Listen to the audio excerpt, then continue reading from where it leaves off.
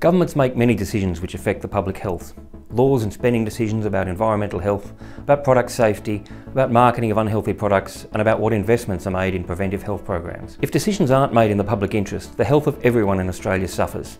It means more cancers, more obesity driving food and drink consumed, especially by kids, more fossil fuel subsidies, weaker regulation on gambling, unsafe water, many other health threats.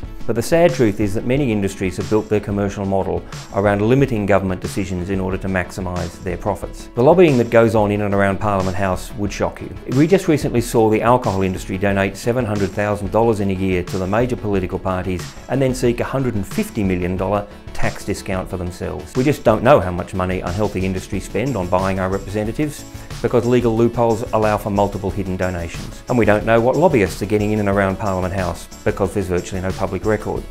We do know there's a revolving door between lobbyists and ministerial staff and ministers themselves because there's lucrative job opportunities after people have finished their public service. We need real and urgent reform of the integrity laws in Australia.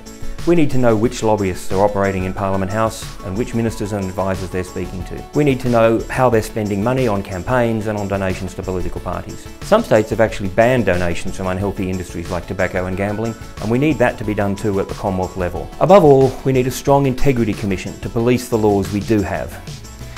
In a few weeks' time, we'll be voting to elect a new Australian Parliament. If you're interested in public health, demand of any candidate or party you're thinking of supporting that they commit to real and urgent reform of the integrity rules and vote for public health.